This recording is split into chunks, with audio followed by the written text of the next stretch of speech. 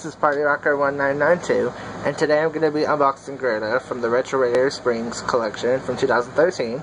And you see her in the original movie um, when they're showing the flashback of how Radiator Springs used to look.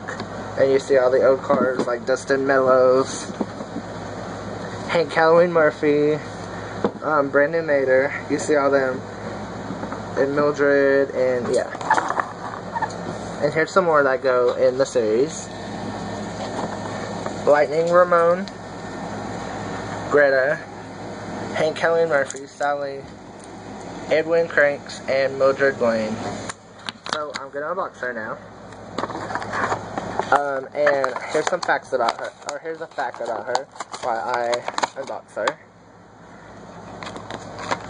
Um, So she is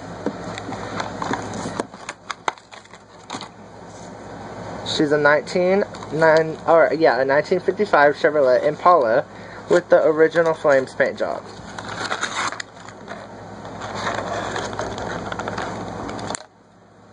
Sorry, every time I open these, they get like dust on my table. And here she is. And there's her original Flames paint job. Sorry, it's unfocused. Okay. There's her her Flames paint job. And the back is like it's it looks blue on camera, but it's actually purple. It's a dark purple, even though I don't know why it's showing up blue. And it's glittery. Has glitter. She has two mirrors on her each side. She has no um, license plate, even though she has a Playstar one. That's actually really weird.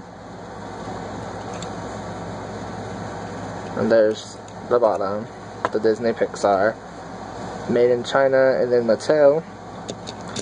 And her rims are just plain silver rims. And just like I said, you see her in the movie with these ones.